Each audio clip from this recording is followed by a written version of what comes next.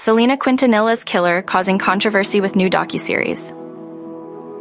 A new docuseries about the murder of Mexican-American singer Selena Quintanilla Perez is stirring controversy among fans and her family. The two-part series, Selena and Yolanda, The Secrets Between Them, which debuts on Oxygen on Saturday, features extensive interviews with the singer's killer, Yolanda Saldivar, from prison. Saldivar was convicted of first-degree murder in 1995 and is serving a life sentence. Oxygen is owned by NBC Universal, the parent company of NBC News. NBC News has previously reported that Saldivar unsuccessfully appealed her murder conviction in 1998 and will be eligible for parole next year.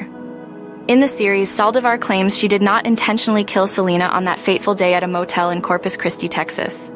Saldivar, who served as the president of the singer's fan club and was the manager of two of her clothing boutiques, dismissed the long held theory that she was embezzling money. Instead, Saldivar alleges that Selena was having an extramarital affair and tasked Saldivar with making purchases on her behalf to help cover up the tryst.